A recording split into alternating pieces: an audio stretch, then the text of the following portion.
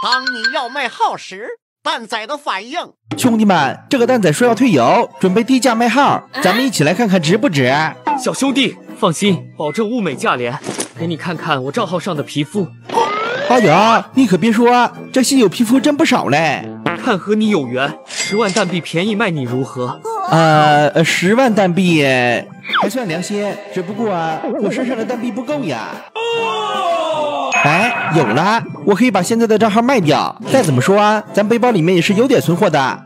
老哥，你等着，我现在就筹钱去。哦，什么卖号？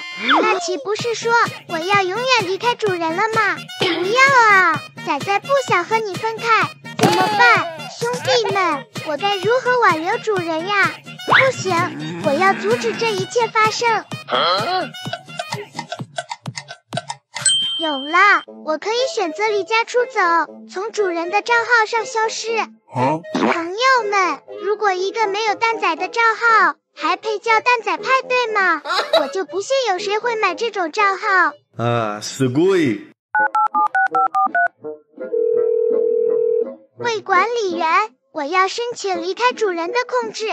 小蛋仔，根据蛋仔岛的管理规定， 我需要知道原因。事情是这样的，情况我已经了解清楚，你的申请可以通过。谢谢管理员。哼，主人，看你这次还怎么卖号！朋友们，大家一起给视频点个赞，看我如何略施小计挽留主人的。兄弟们，找到买家了，我现在就上号向买家展示背包皮肤。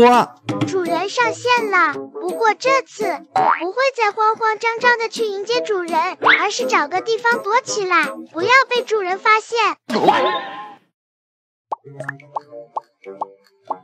我勒个道，兄弟们，这什么情况呀？我蛋仔呢？怎么只剩下一副像素眼镜了？难道是刚毅的 bug？那不行，这种情况下我还怎么卖号呀？蛋仔派对游戏里面却看不到蛋仔，你说搞不搞笑？投诉，必须来小信箱这里提出反馈。我来啊！管理员，你来的正好，这什么情况呀？这不是游戏的 bug，你的小蛋仔知道你要卖号，所以选择了离开，解除了你对他的控制。什么？离开？他说：“我只信任辉哥一个主人，我不想服务其他的主人，所以请原谅我做出的选择。”是啊，自从决定卖号之后，我确实没有考虑过小蛋仔的感受。或许我的举动伤透了他的心。管理员，你可以帮我找到他吗？哦，主人想要高级的皮肤，我并不反对，但是我希望请不要抛弃我，我可以尽自己的所能去帮助你。一百蛋币可以吩咐我做任何事。好，那就帮我把蛋仔岛打扫干净吧。你的小蛋仔就在前面，辉哥，现在后悔还来得及。一百蛋币可以吩咐我做任何事，有什么能够帮助你的吗？一百蛋币可以吩咐我做任何事，一百蛋币可以吩咐我做任何。小蛋仔这是在为我赚蛋币吗？是我错了，都是因为我鬼迷心窍，伤透了小蛋仔的心。我决定了，不会再卖号，也不再要什么稀有皮肤账号。在我心里，小蛋仔才是最珍惜的好朋友。管理员，我现在就下线去删掉卖号的消息，麻烦请你转告小蛋仔我的心意。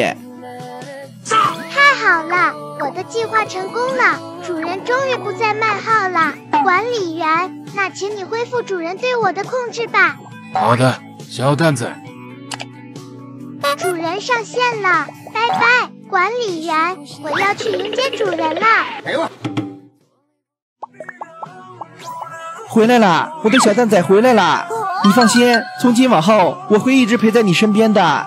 主人，仔仔也永远不会离开你了。